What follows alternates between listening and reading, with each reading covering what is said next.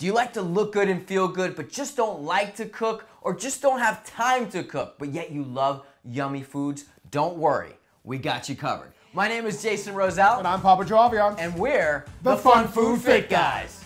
Papa and I have a lot of things in common. From both being TV personalities, hosts, music artists, life and wellness coaches, you name it. But the biggest thing we had in common is that we both loved food, we both used to be fat, unhappy, and unhealthy. I was 250 pounds overweight. I had low self-esteem. I didn't feel good about myself.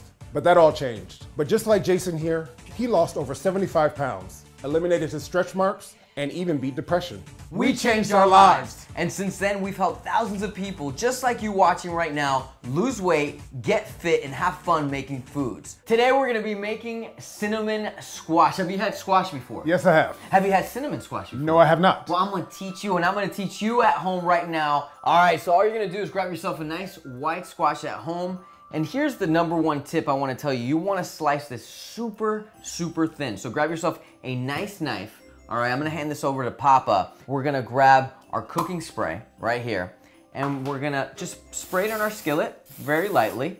All right, now Papa, eloquently do me the honors. Okay, no worries, All right, thank you're gonna pour it right there, uh-huh. You gotta turn on the turn on the grill. Yeah, we're gonna put it on high. There you go. Ladies and gentlemen, you wanna make sure you, you have this on high and just sit it there for about a good minute or two. I think these babies are done. Two minutes on each side. This is so important for you to know. And little by little, nice and slowly, we're gonna just spread it to the sides. This dish has barely 100 calories. Really? We got the Reddi-wip non-dairy almond milk.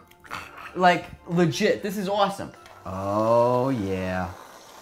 Mm-hmm. You can hold that for me, sir? Okay. You gotta put, mm the special ingredient, which is the caliente cinnamon on top. You're just gonna sprinkle a little bit on the whipped cream, perfect, and you're gonna drizzle just a little bit on each one. Especially I like to have this as a snack or okay. late night when I'm watching a movie. Mm -hmm. You wanna do this with Let's me? Let's do it. Dip it into that whipped cream. Okay. And, mmm. that's good.